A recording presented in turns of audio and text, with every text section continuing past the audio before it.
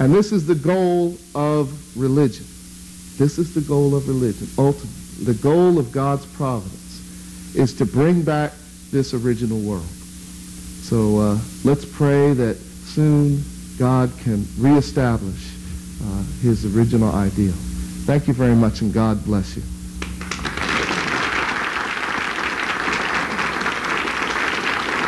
I'm,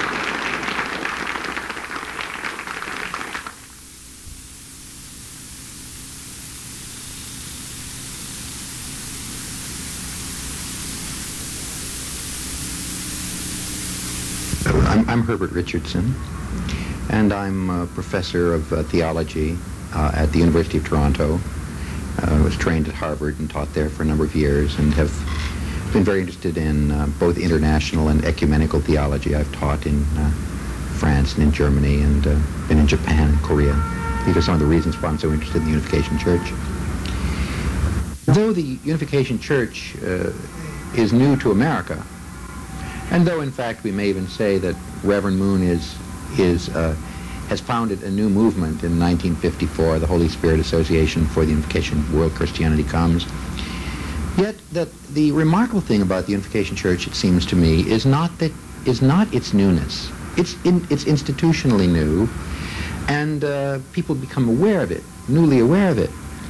But at the heart of unification teaching is the the strong reaffirmation and creative recombination of uh, those teachings that are central to the Bible and uh, that have been reiterated again and again in the Christian tradition. In fact, uh, the Unification Church is an authentically Christian, uh, powerfully Christian, and creatively Christian uh, uh, church, and not only Christian, but if one wants to say where the real newness of the Unification Church comes from, it's in the fact that it's even older than uh, the other Christian churches in the sense that it has more powerfully and unequivocally than any Christian church uh, related uh, Christianity to Judaism. And I said it at that time, and I would say it again, that, that uh, Reverend Moon's theology, the divine principle, is, uh, in, in my judgment, the most, um, uh, the most creative and the most comprehensive and the most significant a theological statement uh, in the in the 20th century. I was uh, thinking as you were discussing the creation that uh, that we might focus a bit more on that topic and uh, um, say turn to the question of say what specifically uh, was God's purpose in creation. And I think here the Unification Church uh, has some very interesting things to say, things that are in many respects consistent with, with other uh, uh, theological traditions, in their emphasis on what they often call the three blessings. The notion that, that man was created to grow to maturity in terms of his or her relationship with God, as a preparation for moving into yet another stage in the unfolding of life, uh, marriage and, and uh, the raising of children. And, uh, and, and yet that's not the end uh, of God's uh, purpose in creation, but it's also to, as they say, to build the kingdom of God on earth. So you have this kind of interesting progression uh, as uh, uh, in, in the unification doctrine of creation, this kind of concretization of, of what, what it is that God is wanting to do.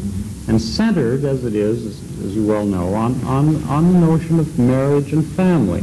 You know, on the doctrine of creation, the uh, thing that fascinated me there is uh, how consequential Moon is in stating very, very strongly that, uh, that the image of God in man is precisely uh, human fatherhood and motherhood. We talk about God our Father in Christian theology, but then we talk about the Imago Dei.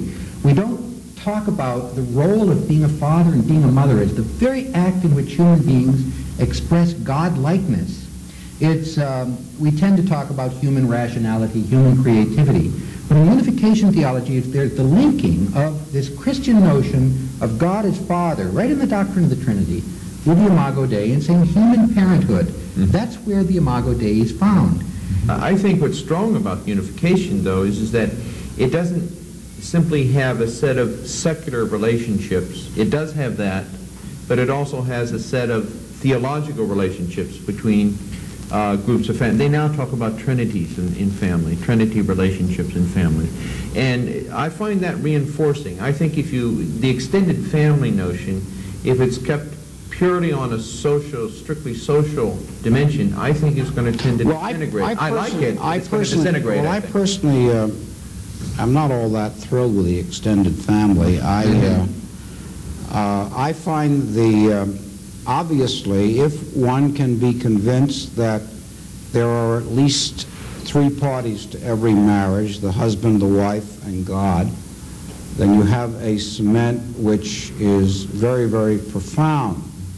I think in our secular culture this was lost. Uh, one of the reasons why I um, look sympathetically on what the Unification Church is attempting to do is because they were attempting to find the cement. In unification theology, there's the belief that um, when God created Adam and Eve, and here we're talking about when God creates anyone, you and me, when God created Adam and Eve, they were created as basically children, babies, just as we're born as children and babies. And that the task for human life that actually God intended for Adam and Eve and that God intends for each of us is that we that we develop both physically and spiritually and that we go through the stage in the life process of moving from childlike uh, dependence and learning through imitation and receiving love to the stage of uh, young adulthood where we share love and uh, and uh, then where we become parents and can give love to children. And when we become parents and give love to children, then we become like God, who is our heavenly parent who gives love to us. Now, the interesting thing about this, it's a, it's a process, it's the human process is the process of divinization or becoming like God. But the critical thing that's so different from much Western Christianity is that the key unit is the idea of the family. Because here, this whole process goes on between children and parents, parents and children, husband and wife. So, so uh, what uh, crucial in unification theology is not just talking about the importance of the family, but talking about the need to create a new form of family. That is to restore the family or redeem it from those factors that make it uh, an uncaring institution because parents haven't yet learned a capacity for parental love. An institution where people experience betrayal uh, and rejection because people haven't yet learned fidelity. Uh, an institution which is privatistic and selfish because people haven't yet learned how to see their families as part of a larger spiritual family so that they don't have to leave all their friends when they marry. And I think the most important thing within unification uh, religion is this, is this teaching that uh, marriage is for grown-ups. Uh, you don't That's marry in order to grow up, uh, but you only, and of course the Unification Church suggests a proper age to marry, and you're not old enough to marry until first you've become mature, and part of the way you demonstrate the maturity is you have exercised responsibility, parental type responsibility toward others, what are called your spiritual children. You know, And we, ha- we have not only a doctrine, but as you're suggesting here in these comments, you also have a se- series of practices, a mm-hmm. kind of rule, a, a way of life within the Unification Church that is centered around these kinds of issues. So after they've had the experience of, of raising up other people spiritually, uh, that uh, prepares them then for marriage. And, and then there's marriage and even a third stage beyond marriage, so that marriage doesn't become sort of the be and end all of life, but it becomes the context out of which a more uh, just and full society might emerge. the context of parenthood. We, you know, in, in unification theology, people marry to become parents. The church, it seems to me, needs a link between what Jesus has done, the model of love that he gives us. It's the peerless model, I think, I mean, I think, But how do we institutionalize that? And, and I think that in a sense what Reverend Moon is trying to do is to give us a way of seeing what a, what a Christ-inspired family could be in the Mm-hmm. world. Mm-hmm.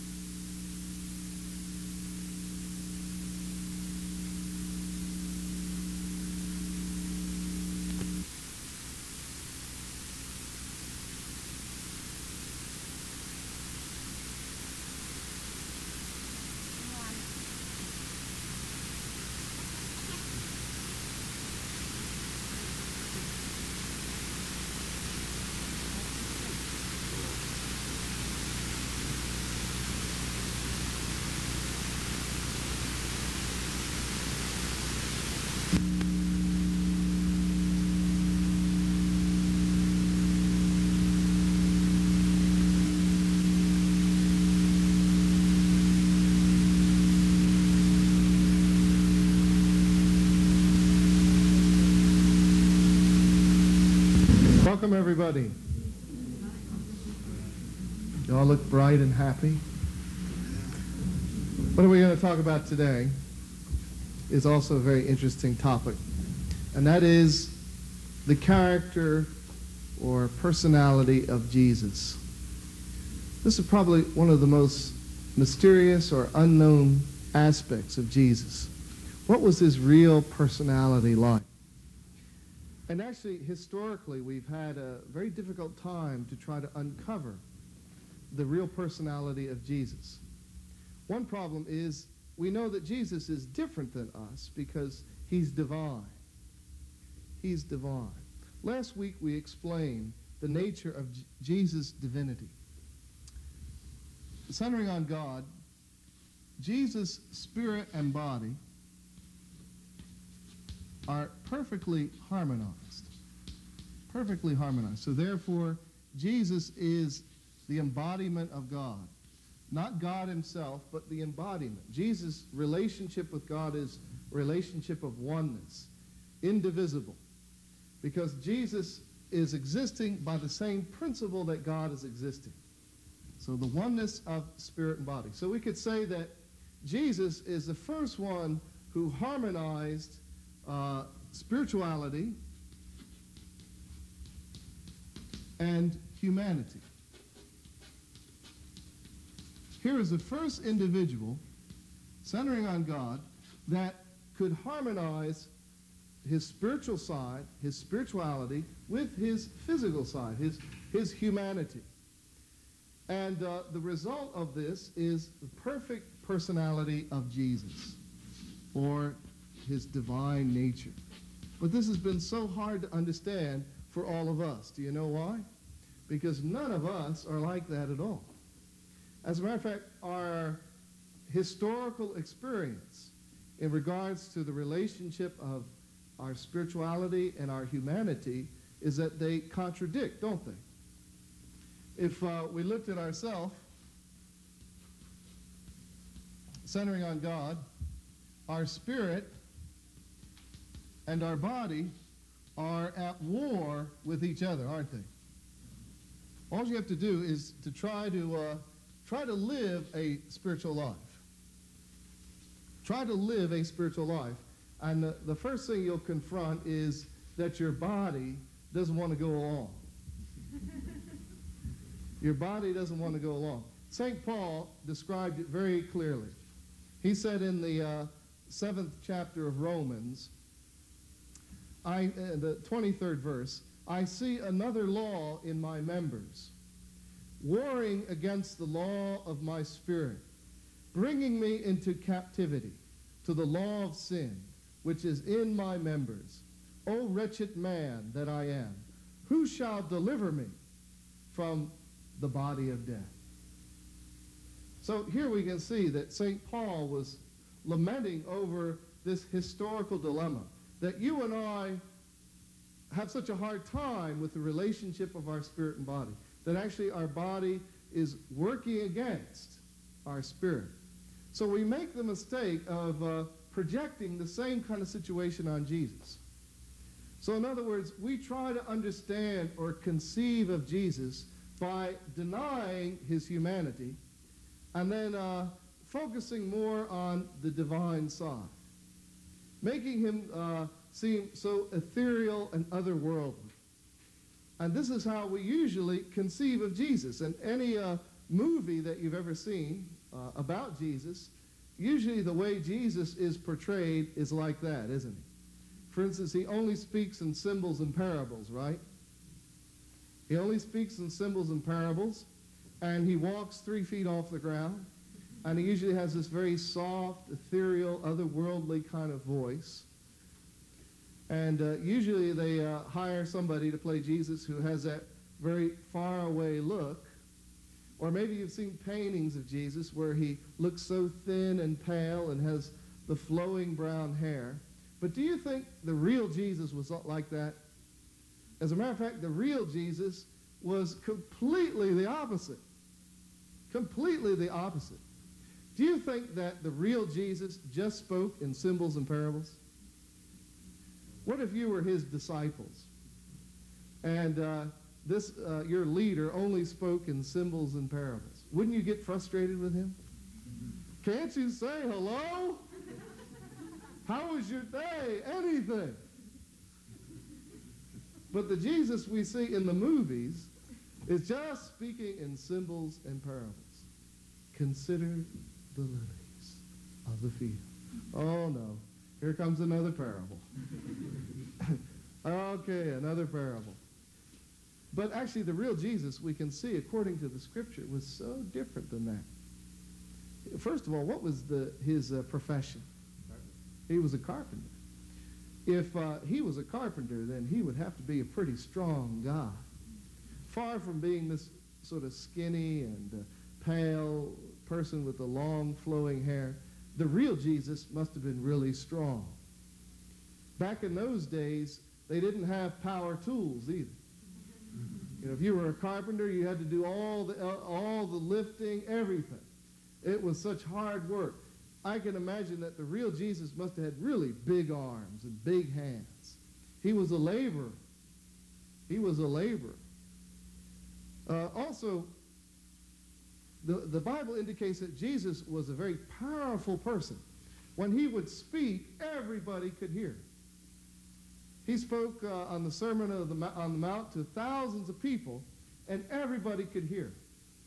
Even in the back row, they could hear.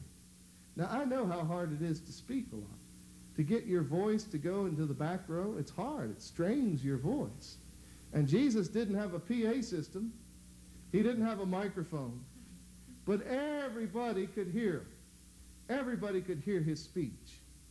That means he must have had a really strong, booming voice, don't you think? Everybody could hear.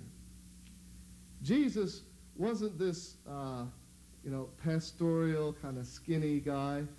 He was really a strong, even in a righteous way, ferocious person, full of life, full of energy, full of zeal. And I think of one story that really illustrates this best. and that is when Jesus cleared out the temple. That is so revealing. And, and uh, I've read uh, different uh, Bible interpretations and uh, uh, the way that that scene is interpreted many times is, well, see, even the Lord can uh, lose his temper and get upset. Shame, shame on the Lord. He got upset.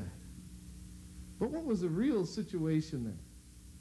The Bible tells us Jesus walked in the temple and he saw that they had made the temple, the house of God, into a shopping mall.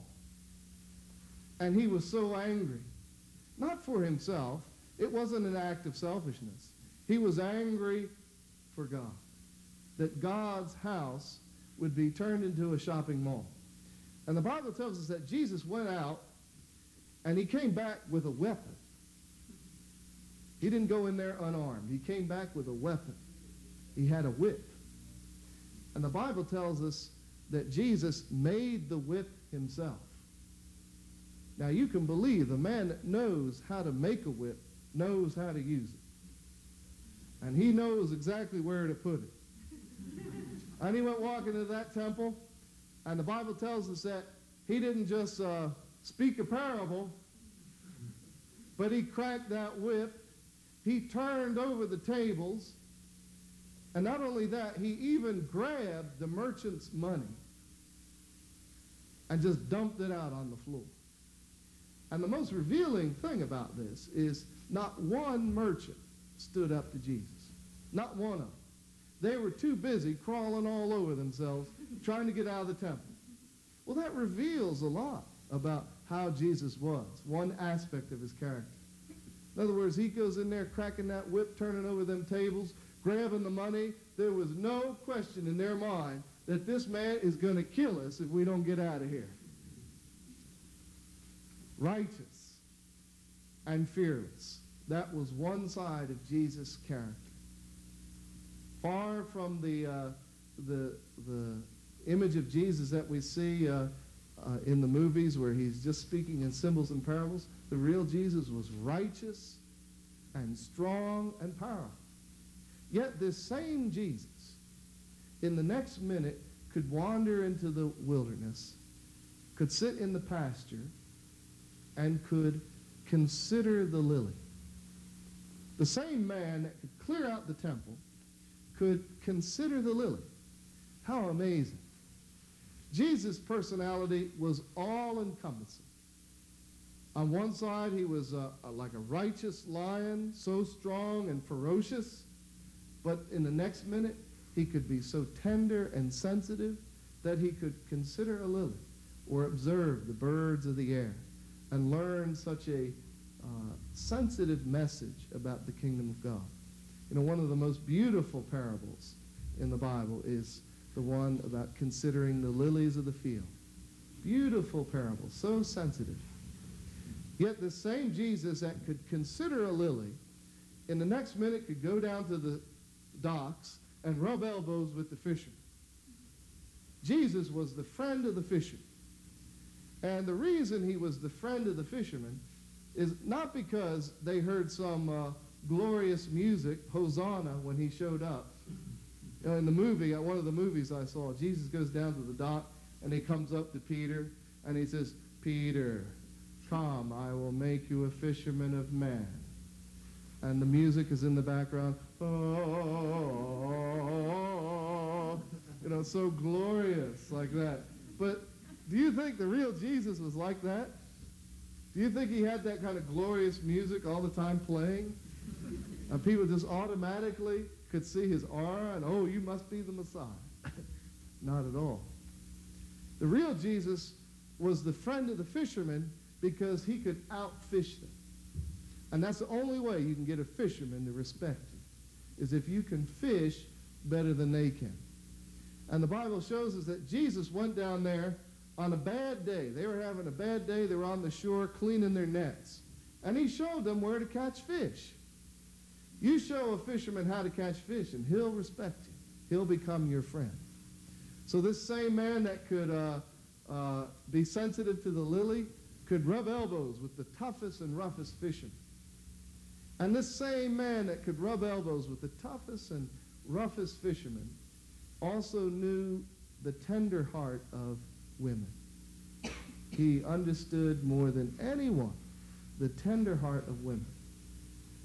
And uh, actually, you know, Jesus' relationship with women was so controversial because he treated them equal with men. Jesus was the first one who allowed women into the place of worship equally. Women can hear the word of God equally with man. Well, that was against the tradition. Jesus also uh, created a revolution in terms of uh, men and women, the equality of men and women, when he demonstrated that forgiveness is equal for man and for woman. Very dramatic, famous story. Uh, one woman was caught in the act of adultery, and the religious leaders came and they brought her to Jesus and threw her down at Jesus' feet. They weren't there to really seek Jesus' guidance. They were there to really see what is his stand going to be. Are you going to follow the tradition or not? Because according to the tradition, the woman caught in adultery should be stoned. But the man, well, men will be men. The man isn't stoned. He's given some uh, slap on the wrist. So how unfair this was. And they had rocks in their hands, this irate crowd, and they surrounded Jesus and this woman. And uh, the Bible tells us Jesus was just drawing in the dirt.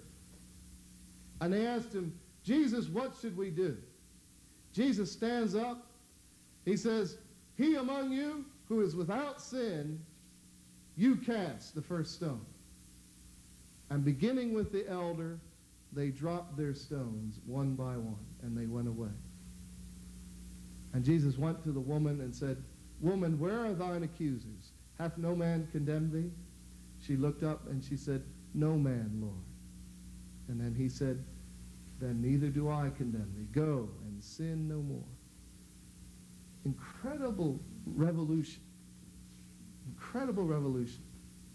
This man who could rub elbows with the fishermen, who could clear out the temple, understood the heart of women. And that's why, if you read the scripture, you can see that the only ones who really demonstrated the heart of devotion and attendance to Jesus while he was on earth were women. Mary Magdalene, she, she washed his feet with her tears and dried, dried his uh, feet with her hair. One woman uh, anointed Jesus' hair with, with oil out of her devotional heart. And what did the apostles say when that was going on? They complain, Why this waste? Where were all the apostles at the foot of the cross? They weren't there. Who was there? It was women. Women were with Jesus at his hour of suffering at the cross. So, what an incredible person. What is really the essence of the divinity of Jesus? Not because he could walk on water, not because he could raise the dead or do miracles, none of those things. Because of his heart. The quality of his heart. And the thing that just made me so angry about all the movies I've ever seen about Jesus, they never showed Jesus as a man of tears. I saw one movie, I believe it was The King of Kings. And in that entire movie, that Jesus didn't even shed one tear. It made me so mad I wanted to knock over the projector. Jesus was a man of tears and compassion. Read the scripture. So many times we see uh, the Bible records Jesus being moved with compassion when he saw the people. Or staying up all night praying in tears. In the Garden of Gethsemane, Jesus prayed in tears so much it was like, the, like drops of blood. His tears were so great. The real essence of the Messiah is divine heart. And Jesus had that divine heart. And we need to understand that essence because Jesus promised that Christ would come again. So what is it that we're looking for? How will we recognize Christ when he comes again? Are we going to look for some external thing? Jesus said it's an adulterous generation that seeks after a visible sign. We won't get a visible sign. We have to recognize the quality of the divine heart of God present within the man who is Christ. That's one reason, unfortunately, Jesus was not recognized 2,000 years ago. They were expecting many external things to take place, but never could understand the essence of his messiahship was the true parental quality of his heart. Then in this age, this age of history, let us be awake and aware. And let us be ready to be able to recognize that divine quality of heart that will come again. Thank you very much. God bless.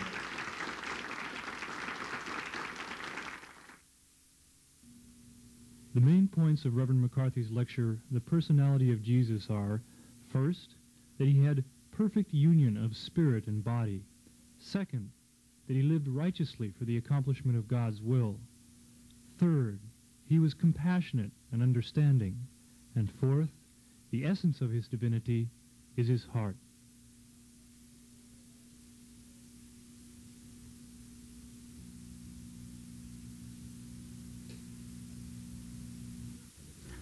So today, the mankind, the primary question is the question of peace.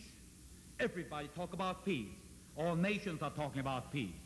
But under the circumstances, under the background of history, can we truly achieve that lasting peace? 자, 그러려면 That's the question. 평화의 세계가 결과, 평화의 세계로 도달하려면 그 결과의 세계, 그 결과의 세계가 원인이 잘못된 출발로부터 그 결과의 세계를 이 논리적인 모습. It is a logically true that when the cause is wrong, the result always wrong. No way you can change the causes by the result. The result is only the reflection of the cause. 자, 그렇기 때문에 이런 전쟁의 기원을 극복해 그걸 넘어갈 수 있는가, 넘어갈 수 있는가, 넘어갈 수 있는가 이런 운동을 제기하는 데서만이 비로소 이상경의 출발기를 찾을 수 있을 것이다. 그러므로 말미암아 원인이 예, 완전함으로 말미암아 결과가 완전하고 원인이 평화경으로 시작했기 때문에 평화의 과정을 거칠 수 있고 평화의 에, 결과에 목적의 세계도 달한다는 것이 그 이런 얘기. The human history so far has been sown in struggle, war, blood, hatred. Therefore, we can only reap such consequences, such results. Therefore, in order to truly obtain the peace of the world, we have to begin with the new cause. We have to sow peace. We have to, we have to have a new field and a fertile land for the peace to start out first. You know, what the peace, seeding. 이렇게 생각할 때 오늘 국가들은 국가 국가 국가는 아 이, 이, 이 인접 국가 전하라는 우리 원수니까 미워라 미워라 미워라 어, 하나님을 미워하고 미워하고 미워하고 미워하고 미워하고 Today, this world is filled with hatred, particularly neighboring nations and the neighboring races, neighboring, neighboring people. There's more hatred than love. Everybody's hating each other. That's the, con- this is the result of the day. 개인적으로 미워하고 가정적으로 국가적으로 미워하고 싸워서 그냥 싸워 Individually, so much division and hatred. As the tribal basis, there's so much hatred and division. And the national and the worldwide scale, there's so much confrontation, hatred. 그러한 실정을 내포해가지고 한자로 전진하는 국가의 세계에 아무리 이상경을 그려도 이것은 불가능하다 So if these are the, the result of the present world, we just keep talking about ideal world unless we have to start out again with the new cause, new beginning, mark the new beginning. It would not come.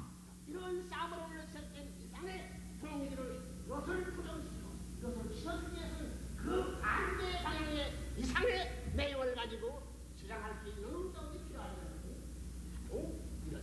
So human history has started from the wrong point or wrong side. So we have to restart the human history from the good point, from the, from the truth, not from the lie. Unless we have new movement developed and are truly aiming at the true peace, sowing a true peace on the ground, there shall be no lasting peace. 자 그러면 하나님이 있다면 하나님은 이런 인류의 세계, 이 수많은 국가들의 배경을 바라보게 될 때 그냥 그대로 방치해 줄 것이냐 이것을 다시 좋은 데로 넣어서 어, 이상적으로 갈 수 있는 길을 선다할 것이냐 하는 것을 볼 때 하나님이 계시를 선다해야 된다는 그런 소리입니다. If there is truly God, and God is Almighty, when He look at this reality, would He, uh, would He be just be contented with the reality, or would He be put up with the reality, or He's going to definitely do something about it to change our world into original shape? 자 그러면 그 하나님이 주장할 수 있고 하나님의 뜻을 이 인간이 대신 이어받는 사람에게 어떤 주장을 해야 할 것이냐?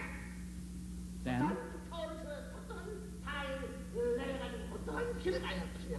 then if there is someone here on earth commissioned by God to take over his mission, to champion his cause, then that man or that group of people, what would they claim? What would they come up with? What would be their claim? 하나님이 주장하면서 이 세상 사람들이 좋아할 수 있는 그 방향에 하라 할 가라 방향으로 가라 할 수 있는 주장은 절대 할 수 없는 Number one, the one thing is 방향으로 가라 할 수 있는 주장은 그 사람들이 one thing is absolutely clear. The men of God, the men who are commissioned by God to change the course of history, shall claim that the present course is wrong and error, so you must turn around. They will not say, all right, keep going, what you're doing today. The men of God must say, you must change your course 180 degrees. 자, 그러면 어떤 말을 해- 해줄 것이냐? 그 대표적인 하나의 표어가 무엇이냐? Then what would be the, the symbolic slogan for that man then? What the men of God can claim? What do you think? What that, uh, you know, if you're clever, you, you, can, you can figure out what is that slogan should be.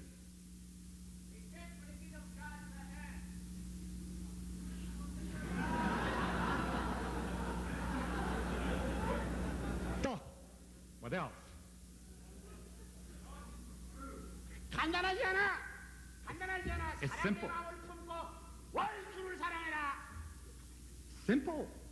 Because world started out with hatred and a lie. So, 180 degree different attitude, different cause should be what? Love.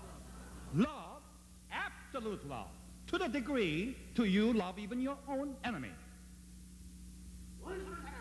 Love your enemy.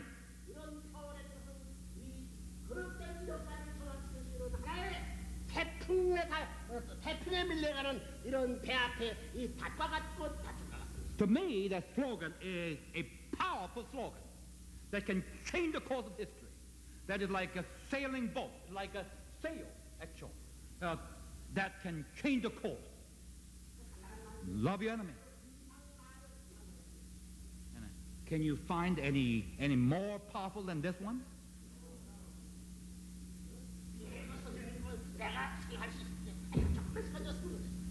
Some might think, well, that's an easy answer. Father, you gave me a couple more seconds, I would come up with that slogan. You might think.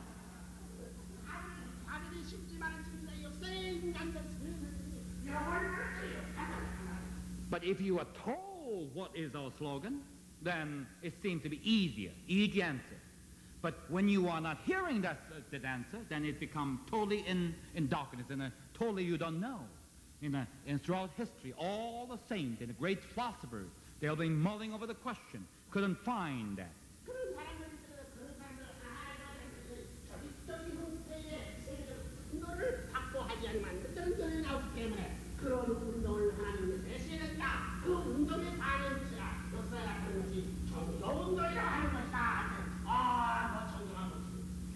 Loving people, particularly loving to the degree to your own enemy. You love someone to a degree so high and noble and supreme, you can even love your enemy. That power, that power can melt everything. That melts everything. God needs such a movement to melt the wrong world and bringing it back to right one. And in order to do that, God initiates such movement in the name of religion. The entire worldwide religious movement, in a different degree, they're pursuing this one slogan, to love your enemy. 그러면 이 땅에 하나님이 제일 사랑하시는 사람은 누구야? And about the so many saints who came upon this, uh, this our earth, our planet, who shall do you think God would love him most? Then, I think that answer is very simple. Because there's someone who said that. Someone who said that.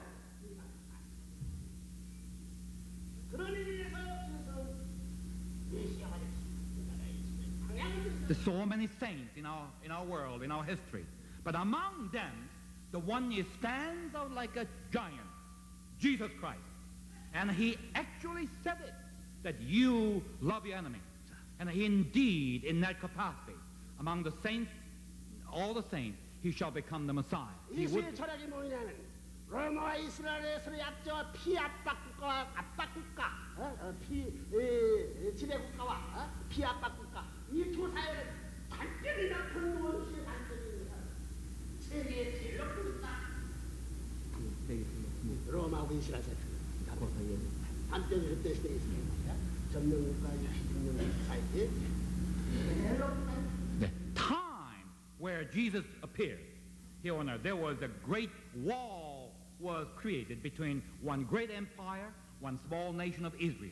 That great empire certainly was the Roman Empire. There was a wall of hatred, wall of power, wall of conquest. One is conqueror, the other is oppressed people. The wall couldn't be any higher than that.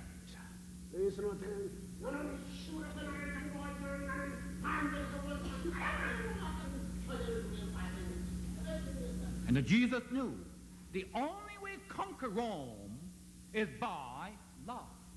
You conquered me, conquered our nation, conquered our people by the power, political power, military power, but I conquer you by my love, love of God.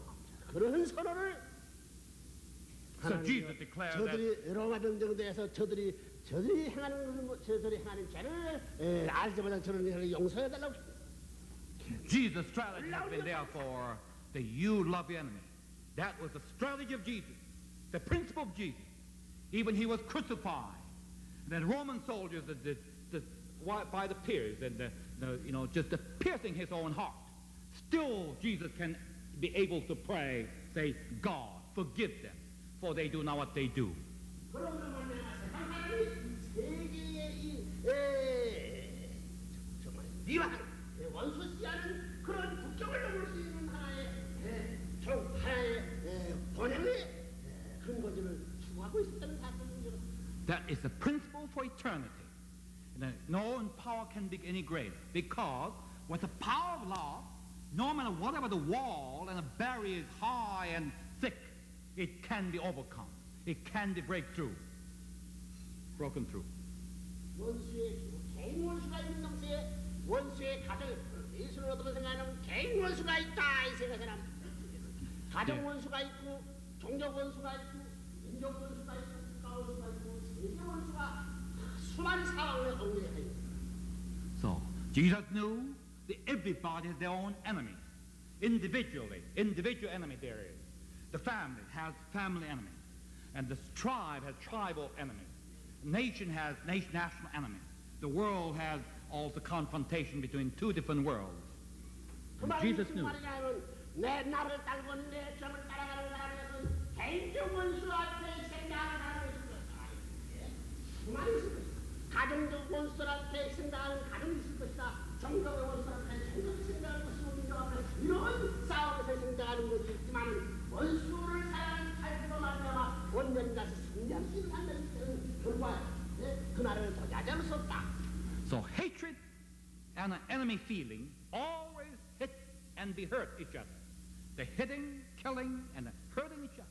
all the time.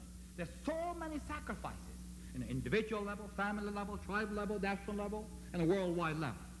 But by breaking down this wall of hatred, there's only one method, one principle, one strategy work. Love your enemy. 만약에 이것을 원, Ultimate. 세상 나라와 사탄이 방향과 같이 하나님이 복수해가지고 원수라고 받으면 이 세계가 다 But the enemy world, the fallen world, when they are trying to retribute, when trying to pay back the harm done, they always by doing revenge. If God and Jesus uses the method of revenge to build his kingdom, there would not be any, even one human being left here on earth. Everybody has been extinguished. Would happen. 그럴 거라고요? Don't you think so? 자, 그래서 기독교를 중심 삼고 하나님이 하나님이 조 하나님의 조국 광복은 어디서부터 오느냐 이런 사상을 가진 개인에서부터 출발하는 건 당연한 것이다.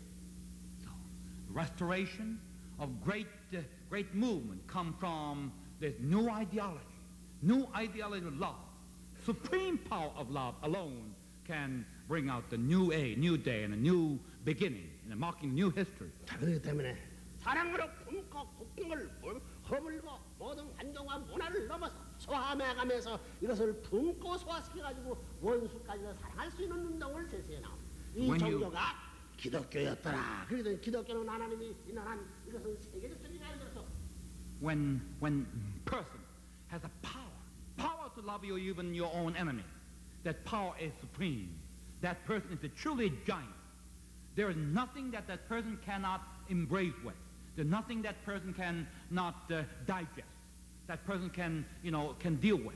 Therefore, ultimately, that person shall be shall conquer the world in good way, God's way, And Christianity is the center of it. So Father see, God that as long as Christians remain here on earth, and the Christians are pursuing this doctrine, the principle, then there shall be the great victory, conquest.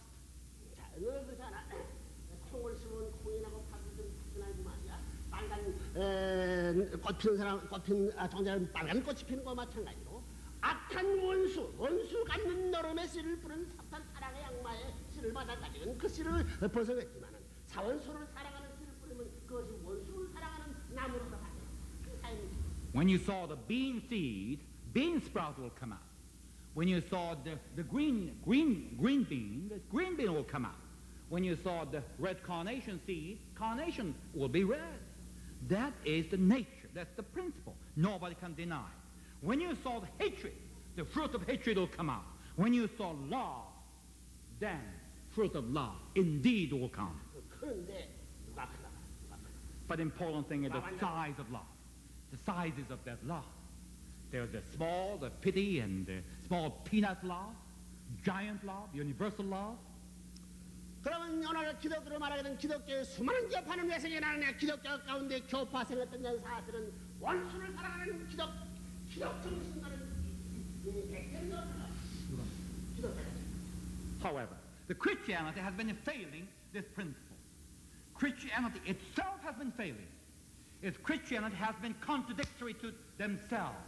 They should love their own enemies according to the principle, but they could not. That was the major difficulties of Christianity.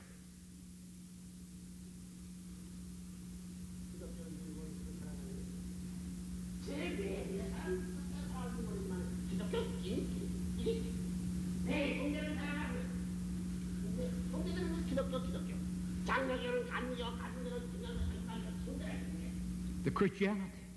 They always preaching on a Sunday morning that you love your enemy. But the Jesus also said you love your neighbor. Who is in the neighbor of the Christianity? Well, another fellow Christian. They're truly loving another fellow Christian. They in a Presbyterian love the Methodist. Methodist love uh, uh, Jehovah's Witness, whatever. Or the, uh, you know, Catholic love the Reunification Church, whatever. Are they doing? Are they doing?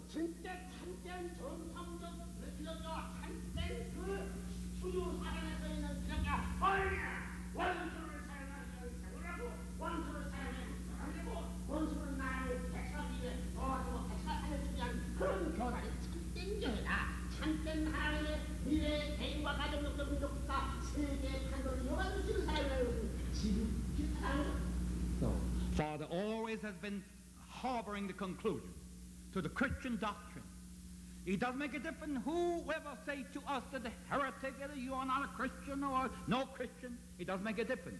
Whoever practice the principle, love your enemy, the more practice, closer to God, the truly orthodox of the Christianity. That's the way Father has been leading.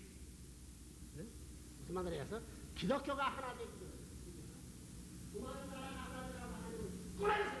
The love can unite. Christianity, practice love, then we can unite the Christianity. Then the Christianity can unite the religion, unite the world. That's the way it goes. It has to be started with the Christianity itself. Until we have this, achieved this goal, we cannot go on the next.